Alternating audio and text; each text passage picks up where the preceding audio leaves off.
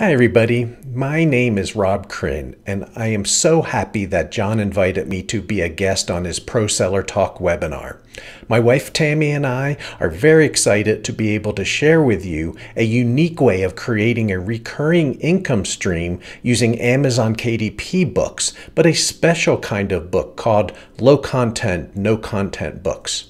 The good news is you don't have to be an author and you don't have to worry about finding keywords to get your books to sell.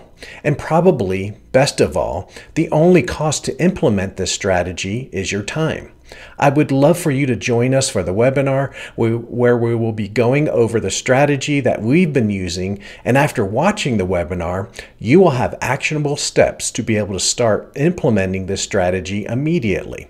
So come to the webinar, get ready to learn, and get ready to start a new recurring income stream for your business. See you then.